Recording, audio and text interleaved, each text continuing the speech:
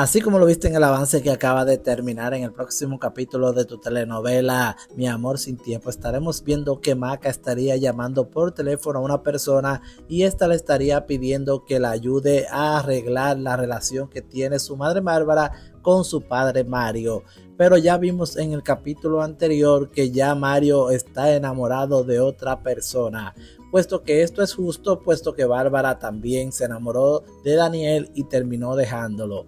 Además vemos que ya Greta se estaría reuniendo con José y este le estaría diciendo que ya pronto ella va a poder darle asilo en su casa, puesto que este está planeando fugarse de la cárcel. Además también estaremos viendo que Fátima estaría recibiendo la noticia de Diego de que va a tener una gira por toda Europa, cosa que vemos que esto estaría sorprendiendo a Fátima porque esta no se lo esperaba, pero vemos que esta no tiene una cara muy agradable. ¿Será que esta no quiere ir a esa gira?